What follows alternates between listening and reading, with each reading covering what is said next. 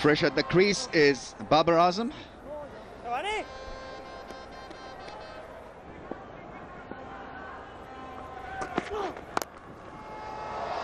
Yeah, hits it extremely well. Front foot pull shot and a boundary.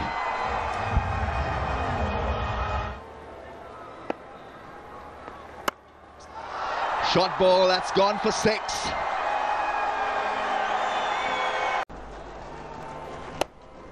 Driven straight. What a shot that is. Magnificent shot. Pitched up and straight past the bowler. Timing was magnificent, so was the placement. Handsome. Really good looking shot, and it's four.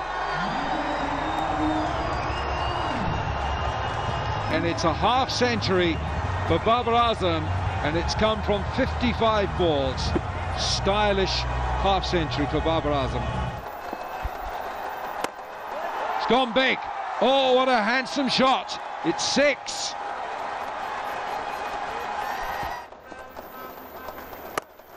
And Babar Azam hits that away.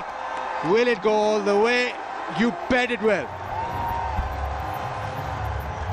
His timing is spot on today, Babar Azam. Found the gap, will find the fence, and that is 100 for Babar Azam. He'll raise his bat. What a knock, what a player. 11th ODI ton for him. Third in last five innings versus Sri Lanka. Well, I can tell you that his celebration is very similar to the way he bats. Took his time even with his celebration. There was no excitement, didn't run around and throw his bat and keep jumping up and down. But he just took his time, took the helmet out and just celebrated so much like the way he batted.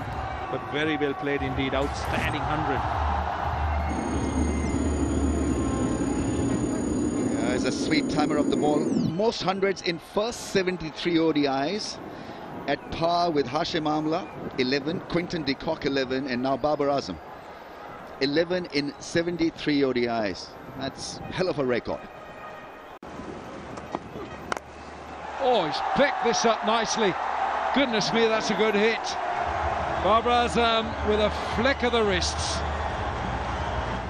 A Yorker, that was the idea. He waited for it, and then just good wrist work there towards uh, mid-on and mid-wicket. Look at this, picked up his gap as well. Big shot.